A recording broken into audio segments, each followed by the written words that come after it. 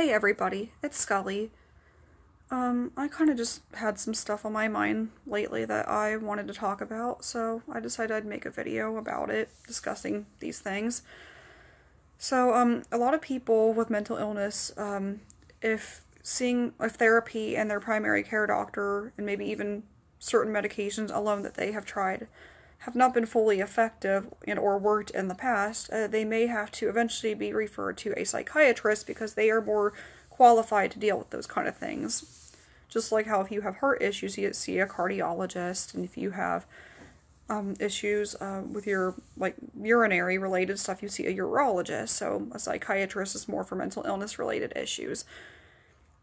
So a lot of people tend to think that um, it's kind of like with anything. Sometimes you can see you know, one doctor and they kind of, you know, you kind of stick with them and things are pretty hunky dory after that. But um, just like anything, sometimes you have to see a couple different doctors to kind of figure out what's going on um, because uh, different doctors could think different things are going on and people are very complex and complicated. So sometimes um, getting another opinion or just seeing another doctor altogether may be an option depending on the circumstances. Uh, when you think of seeing a psychiatrist, I do kind of think of um, of it like taking a medication, though, where like it's not going to just work the first day. They're not going to know everything about you during the first visit, and um, although that can be very frustrating, it's also very realistic because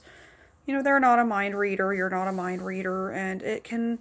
really kind of be trial and error to figure out what's really going on as um, a lot of mental illnesses have a lot of very similar or even overlapping symptoms especially if somebody has more than one diagnosis, like I talked about in one of my other videos. So, um, when you decide to see, if you have one and you decide that's not working out and you're going to see another one, um, there can be maybe a couple things that kind of point you in that direction. Like, um, if you've been seeing them for a while and you feel like you're kind of not getting anywhere, or maybe even the treatments that they're, um, having you on, like medications especially, aren't working, that can sometimes be an indicator, but not always. Again, you kind of have to give it some time to figure it out. But um, sometimes people will have to see another psychiatrist for insurance related reasons, financial reasons,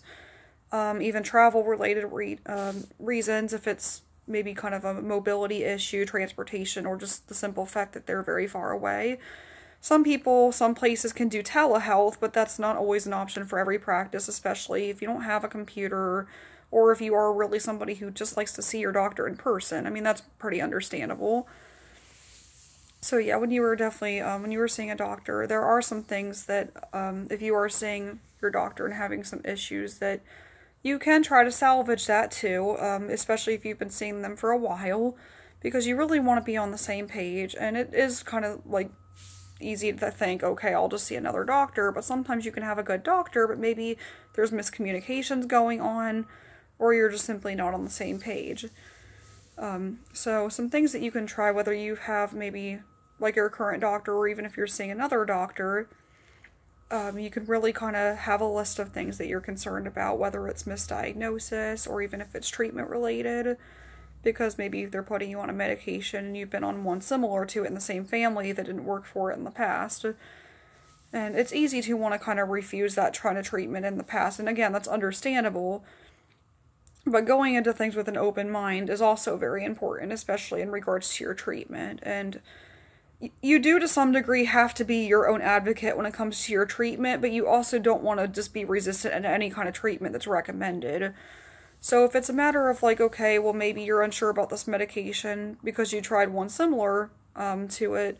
you can kind of go into your doctor and let them know that you've tried medications like that before. And that way, rather than just rejecting the treatment altogether, they can kind of sit and listen to your concerns. And rather than avoiding that treatment altogether, you could actually kind of have like a backup plan like, okay, you're going to actually try this medication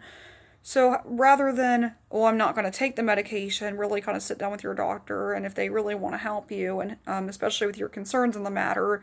if you kind of have um, some sort of backup plan in case you're on this medication and something really unexpected happens, like you get worse or you even have a reaction to it, because people can have allergies to medications or they can even interact with other medications in their regimen, and you don't always think about that sometimes until things pop up like that, that you can maybe go to some place temporarily until they can fit you in, or if they have to get you in really unexpectedly, that they can. And I also found that's rather helpful for people with anxiety as well because it's very scary to meet another person for the first time. Um, you talk about some pretty sensitive topics, sometimes like even medication, or you just simply feel like you're just kind of sitting there and like no disrespect or anything, but you kind of feel like you're getting your brain picked apart by somebody you don't know. And that's a very important part of the, you know, seeing this doctor. But especially if you're somebody who's maybe never seen a doctor before, um, like a psychiatrist, or you've seen several, that kind of feeling can be really overwhelming. And of course, that's going to probably be a little uncomfortable at first, but just remember that they're people like you and they do want to help you you can kind of sit there, maybe feel like you're being analyzed a lot, but really they're just trying to learn about you and help you as much as they can because they are very trained in this profession. So, although it's normal to be anxious about such matters like this, keep in mind that you do have a professional helping you. So, although this can be overwhelming, especially if you have like social anxiety,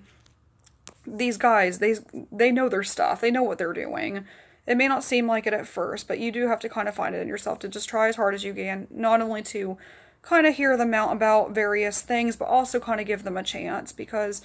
it's just, again, they don't know everything the first visit and it will take some time. And if they are a very good doctor, they will take their time and kind of, you know,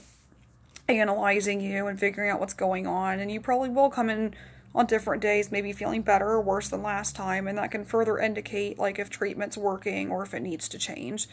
So, although it's a very long process, like taking a medication for the very first time, it's it is a necessary thing. Although it can be very very frustrating. So, um, and if you ever find yourself in a position where you, where you are kind of questioning some of the treatments,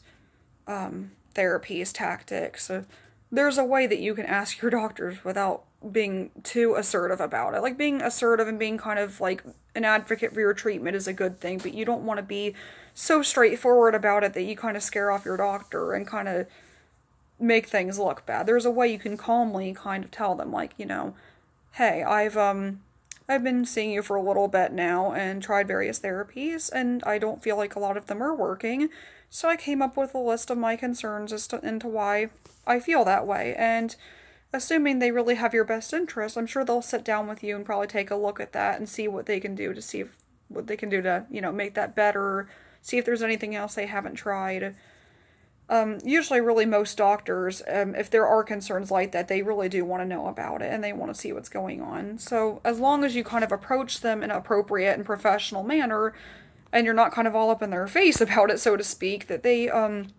more than likely will take time to look at that, which I mean, of course, they have a busy schedule like anybody does, but like I said, if um if you have a maybe a psychiatrist you've been for a little while and they're actually a really great doctor, but you just have some concerns, don't be so quick to kind of brush them out of the way if there's things that they can do to fix it. And if you've tried really just about everything and you have to, of course, go elsewhere and get another doctor, don't be afraid to be your own advocate either because your, your therapy, your treatment does matter, your health does matter, and you do want to get better.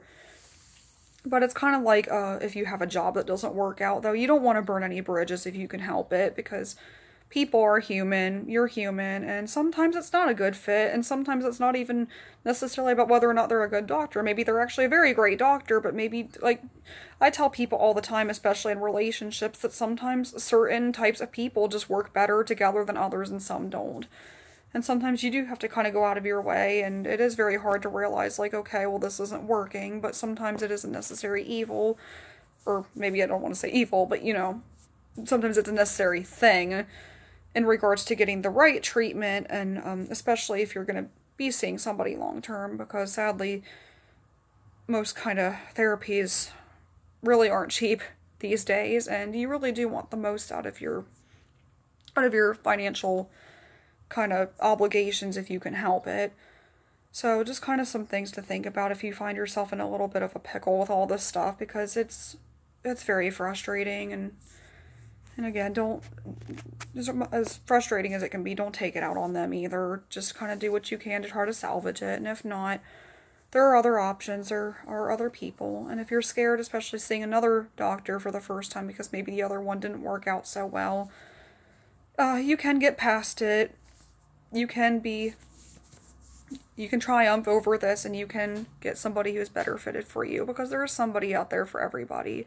And sometimes it doesn't happen the first time, but just keep looking and keep trying. And kind of uh, just like how they do trial and error some of their therapies, kind of think, okay, you know, what things have you done with doctors in the past that didn't work so well either? You know, were you a bit stubborn, honestly, or did you listen? Well. And again, not blaming anybody, but sometimes it's hard to acknowledge our own flaws as well. And sometimes it can take improvement from both sides. And if you just kind of look within yourself and mistakes, you can see what may actually work next time. But until then, have a great day, everybody.